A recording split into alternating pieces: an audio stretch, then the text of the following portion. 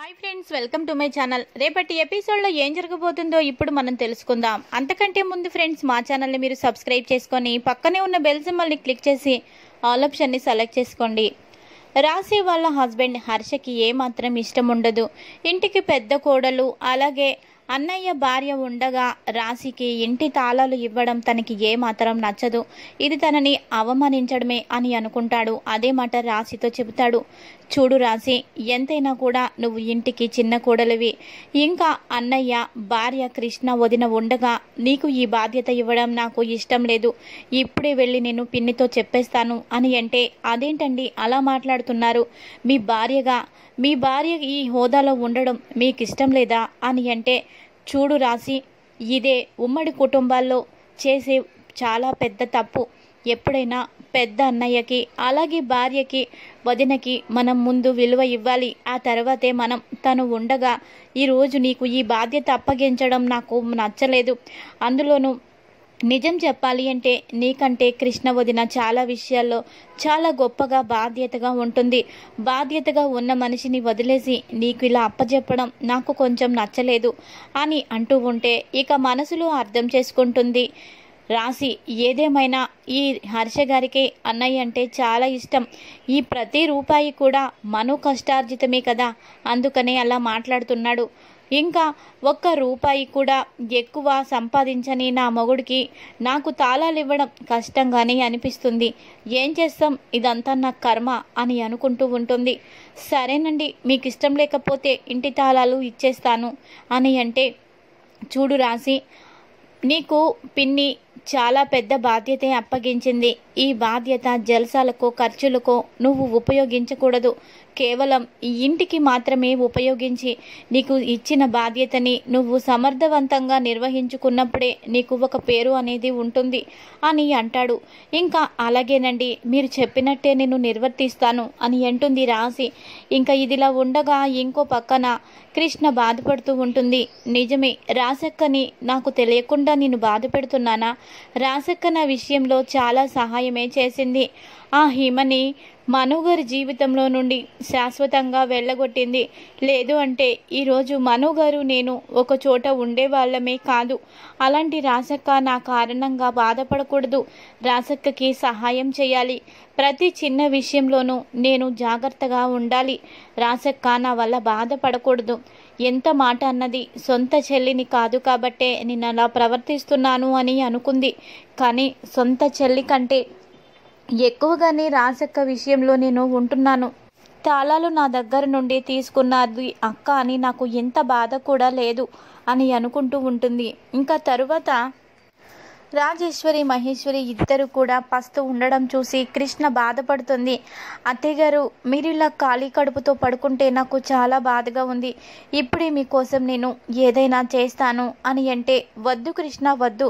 నువ్వు కూడా ఆకలిగానే ఉంది కదా. నువ్వు కూడా పస్తుతోనే ఉన్నావు. మా గురించి నువ్వెందుకు ఆలోచిస్తున్నావు?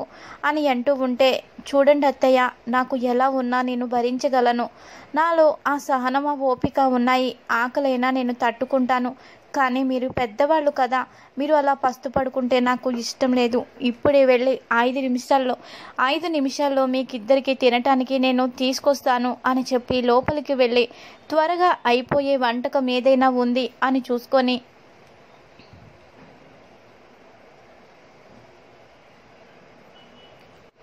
ఎలక్ట్రిక్ కుక్కర్లో అందరికీ ఇష్టమైన జీడిపప్పు ఉప్మా తొందరగా తయారు చేసి వేడివేడిగా ప్లేట్లలో తీసుకొచ్చి రాజేశ్వరికి మహేశ్వరికి అలాగే రాశికి కూడా ఇస్తుంది. ఇంకా రాజేశ్వరి మహేశ్వరి తింటూ చాలా హ్యాపీగా ఫీల్ అవుతారు. చాలా బాగా చేసావు కృష్ణ. చాలా రుచిగా ఉంది ఉప్మా. ఇంత బాగా చేస్తావని అనుకోలేదు. ఒక పక్కన గ్యాస్ లేకపోయినా ఇంకో పక్కన ఎలక్ట్రిక్ స్టవ్తో చాలా బాగా చేసావు చాలా తృప్తిగా ఉంది. కడుపు నిండిపోయింది అని ఇద్దరు అంటూ ఉంటారు. ఇంకా రాశి కూడా తినేసి దీనికేమో దీవెనలు. ఎప్పుడు ఈ కృష్ణకేమో మెచ్చుకోలు నన్నేమో తిట్టడాలు. ఏదో ఒక్కసారి పొరపాటు జరిగితే అడ్జస్ట్ అవ్వలేరా? ఆ మాత్రం కూడా అని అనుకుంటూ ఉంటుంది. చూడు చూసి కృష్ణ దగ్గర నుండి ప్రతిదీ నువ్వు నేర్చుకో. కృష్ణ నాకంటే చిన్నది చదువుకోలేదు అని నీకు తలబోగరు చాలా ఎక్కువ. కానీ ఏదైనా కూడా చదువుతోనే అంతా వచ్చేస్తుంది అనుకోవడం నీ భ్రమ. చదువు లేకపోయినా చూసావు కదా ఎంత బాగా ఎదుట వాళ్ళ ఆకలిని అర్థం చేసుకొని ఆకలిని ఎలా తీర్చిందో.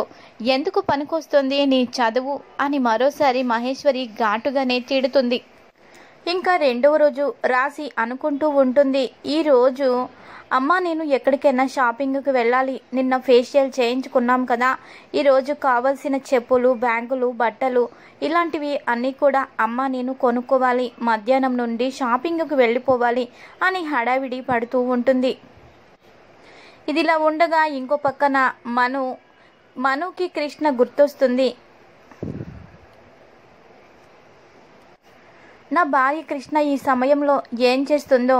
ఇక్కడ నేను మాత్రం ఒంటరిగా చాలా బాధపడుతున్నాను. పెళ్ళైంది అన్న మాటే కానీ మా ఇద్దరి మధ్య ఏ అచ్చట ముచ్చట అనేదే లేదు. కనీసం ముద్దు మురిపల మురిపాలు అనేవే లేవు.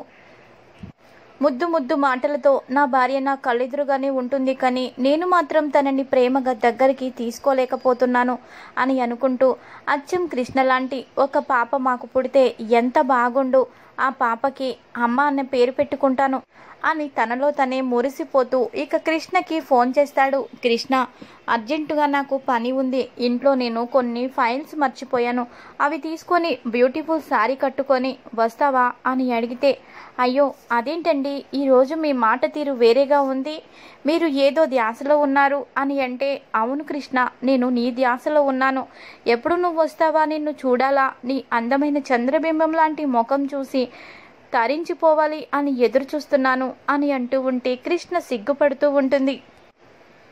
కృష్ణ ఎప్పుడు నీకు వంట పని ఇంటి పని ఇదేనా? ఈ మను కోసం ఏమైనా ఆలోచిస్తున్నావా? నా గురించి నువ్వు పట్టించుకుంటున్నావా? అని అంటే అయ్యో నేనేం తప్పు చేశానండి? మిమ్మల్ని నేను ఏం పట్టించుకోలేదు? నాకు తెలియకుండా మీ విషయంలో ఏదైనా పొరపాటు చేశానా? క్షమించండి అని అంటూ ఉంటే అవును నా విషయంలో నువ్వు చాలా పెద్ద పొరపాటే చేస్తున్నావు. మరి మనుగారికి ఒక బాబో ఒక పాపో కావాలి. ముద్దు ముద్దు పాప గాని బాబు గాని ఉండాలి. ఇంట్లో ముచ్చటగా తిరుగుతూ అల్లరి చేసే పిల్లలు కావాలి అని ఎప్పుడైనా నువ్వు ఆలోచించావా? ఇది ద్రోహం చేసినట్టు కాదా నాకు అని అంటాడు. ఇంకా అర్థం చేసుకుంటుంది కృష్ణ. మనుగారు నాకు అర్థమైందండి. మీరు చెప్పే మాట అని అంటే మరి ఇంకెందుకు ఆలస్యం? అర్థమైంది కదా. మరి అందంగా ముస్తాబయి మంచి శారీ కట్టుకొని అందంగా మరి నడుచుకుంటూ వస్తావా అని అడుగుతాడు. అలాగేనండి బయలుదేరుతానండి అని చెబుతుంది కృష్ణ. ఇంకా ఇదే విషయం ఫోన్లో మాట్లాడటం కృష్ణ వింటుంది. కృష్ణ రాసి వింటుంది. రాసి విని ఏంటి మనోగరికి భార్య మీద ఎక్కడలేని ప్రేమ పొంగుకొస్తున్నట్టుంది కదా. ఈ ప్రేమని నేను కృష్ణ మీద లేకుండా చేయాలి. హిమని ఇంట్లో నుంచి పంపించేశాను అంటే కృష్ణ జీవితాన్నేదో ఉద్ధరించేస్తానని కాదు. ఇంకా మను కృష్ణ ఇద్దరు దగ్గరైకపోతే ఎప్పటికీ ఇంటికి నేను మహారాణిని కాలేను.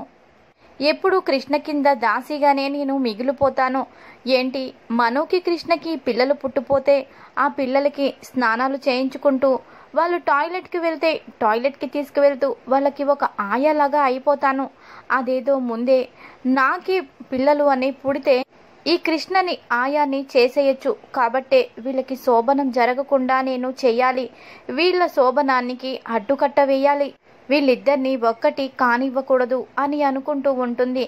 ఇంకా ఇదే ఆలోచనలతో పరధ్యానంగా ఉంటూ రాసి పొరపాటున బీరువా లాకర్కి తాళాలు సరిగ్గా వేయకుండా వాళ్ళమ్మ ఫోన్ చేయడంతో హడావిడిగా డబ్బులు తీసుకొని షాపింగ్కి బయలుదేరి వెళ్ళిపోతుంది రాసి ఇంకా వెళ్ళిపోతుంది ఎవరితో ఒక మాట కూడా చెప్పదు. మహేశ్వరి రాజేశ్వరి ఇద్దరూ మాట్లాడుకుంటూ ఏమైనా మహేశ్వరి రాశికి నువ్వు ఇంటి బాధ్యత అప్పగించడం నాకు నచ్చలేదు. కానీ కోడలు ముందు అలా అంటే బాగోదు కదా అని నేను ఏమీ మాట్లాడలేదు. ఎంత చక్కగా కృష్ణ బాధ్యత నిర్వహిస్తుంది కదా. అలాంటి తాళాలు తన దగ్గర నుండి తీసుకొని నువ్వు రాశికి ఇవ్వడం నాకు నచ్చలేదు మహేశ్వరి అని అంటే అక్క ఇద్దరు కోడళ్ళు మనకి రెండు కళ్ళ లాంటి వాళ్ళు. మనకి ఆ విషయం తెలుసు కానీ కోడళ్ళకి తెలియదు కదా. ముఖ్యంగా రాశికి తెలియదు. తననేదో తక్కువగా చూస్తున్నామని అనుకుంటుంది. అందుకే ఇంటి బాధ్యత అంటే అది ఎంత పెద్ద బాధ్యతో తనకి తెలియాలి అని బాధ్యతగా నడుచుకుంటుంది అని తనకి అప్పగించాను అని చెబుతుంది. ఇంకా ఈ విషయంలో తను సక్రమంగా నిర్వహిస్తే సరే సరి. లేదు అంటే తనకి ఎప్పటికీ కూడా బాధ్యత అప్పగించడం జరగదు అని శాశ్వతంగా కృష్ణ దగ్గరే ఇంటి తాళాలు ఇంటి బాధ్యత తనదేనని మరోసారి కుండ బద్దలు కొట్టినట్టు తనకి ప్రయోగపూర్వకంగా చెప్పేస్తాను అని అంటుంది. అదా మహేశ్వరి ఆ పని చేయు ఇంటికి ఇంకా అలాగే మనకి అందరికీ కూడా చాలా మంచిది అని రాజేశ్వరి అంటుంది. ఇక ఇద్దరు అలా మాట్లాడుకుంటూ వెళ్తూ ఉండగా హడావిడిగా రాసి ఆటోలో వెళ్ళడం చూస్తారు. ఎక్కడికి వెళ్తుంది రాసి ఒక్క మాట కూడా చెప్పలేదు. మహేశ్వరి నీతో ఏమైనా చెప్పిందా? అని రాజేశ్వరి అంటే లేదక్క నాతో కూడా ఏమీ చెప్పలేదు అని అంటుంది. ఇంకా తర్వాత ఇద్దరు ఒక్కసారి వెనక్కి తిరిగి తన రూమ్ వైపు చూడగానే రూమ్ అంతా గజిబిజిగా ఉంటుంది. ఇంకా అలాగే లాకర్ కూడా ఓపెన్ చేసేసి చిందర వందరగా డబ్బులన్నీ చిందర వందరగా పెట్టడం చూస్తుంది. తాళాలు కూడా వేయకుండా అలా లాకర్ ఓపెన్ చేసి ఉండడం వాళ్ళిద్దరికీ కోపం వస్తుంది. ఇంకా మహేశ్వరి భరించలేని కోపంతో ఏంటి ఈ రాశి ఏమనుకుంటుంది? తను ఆటలాట అనుకుంటుందా? బొమ్మలాట అనుకుంటుందా? ఇంటి బాధ్యత అంటే డబ్బు తీసుకొని వాడుకుంటూ ఇష్టం వచ్చినట్టు తిరుగుతూ లెక్క లేకుండా చేయడం అనుకుంటుందా? ఏ రోజు కృష్ణ జాగ్రత్తగా తాళాలు వేసి చాలా పొందికగా ఉండేది. కానీ రాసి ఇలా చేసింది అని కోపంతో ఉంటుంది. ఇక రాజేశ్వరి మహేశ్వరితో మహేశ్వరి ఇక నువ్వు ఈ బాధ్యత తన దగ్గర నువ్వు తీసుకోవడం మంచిది. చూసావు కదా తను హడావిడిగా తాళాలు కూడా వెయ్యకుండా వెళ్ళిపోయింది. ఇంట్లో పని వాళ్ళందరూ మంచివాళ్ళు కాబట్టే సరిపోయింది. లేదు అంటే పని వాళ్ళు ఆ డబ్బుని ఏదో ఒకటి చేస్తే ఇంట్లో మనందరి మధ్య గొడవలు మొదలవుతాయి. ఇలాంటివే చాలా పెద్ద పెద్ద గొడవలకు దారి తీసి వేరు వేరు కాపురాలు కూడా పెట్టే పరిస్థితి వస్తుంది. ఈ రాశికి ఏమాత్రం బాధ్యత లేదు. ఇలాంటి వాళ్ళకి అసలు బాధ్యత ఇవ్వడం మనదే తప్పు రాజేశ్వరి మహేశ్వరి అని అనడంతో అవునక్క రాశి రాగానే ఆ తాళాలు అడిగి తీసుకొని కృష్ణకి ఇచ్చేస్తాను. ఇంకెప్పుడు కూడా. ఇలాంటి వ్యవహారాల గురించి నువ్వు ఆలోచించకుండా ఉంటే నీకే మంచిది అని తనకి గట్టిగా వార్నింగ్ ఇస్తాను అని అనుకుంటూ ఉంటుంది. ఇంకా ఇదిలా ఉండగా ఇంకో పక్కన కృష్ణ అందంగా సారీ కట్టుకొని తన దగ్గరికి వెళ్తుంది. కృష్ణని చూడగానే ఆనందంతో ఉబ్బి తబ్బిబ్బైపోతాడు మను. రాగానే తనని హక్ చేసుకుంటాడు. కృష్ణ నేను ఫోన్ చేయగానే నా మాట విని నా మాటకు విలువనిచ్చి నువ్వు ఇలా వచ్చావు. నాకు చాలా ఆనందంగా ఉంది అని అంటే భర్తగా మీ మాటని నేను శిరసావహించడం అది నా బాధ్యత అండి అని కృష్ణ అంటూ ఉంటుంది. సరే గాని నీకు అందమైన నీలాంటి పాప కావాలా? లేదు అంటే బాబు కావాలా? అని అడుగుతూ ఉంటే రెండు చేతులు ముఖానికి అడ్డంగా పెట్టి సిగ్గుల మొగ్గవుతూ ఉంటుంది కృష్ణ. తన రెండు చేతులు తీసి ఏంటి కృష్ణ ఇలా సిగ్గుపడుతున్నావు?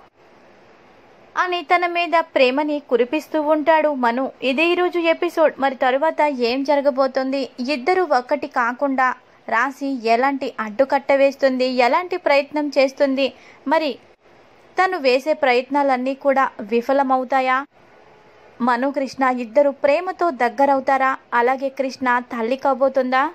అన్నది చూడాలి. ఈ వీడియో మీకు నచ్చితే ఇప్పుడే లైక్ చేయండి షేర్ చేయండి సబ్స్క్రైబ్ చేసుకోండి. Thanks for watching. Hi friends welcome to my channel. రేపటి ఎపిసోడ్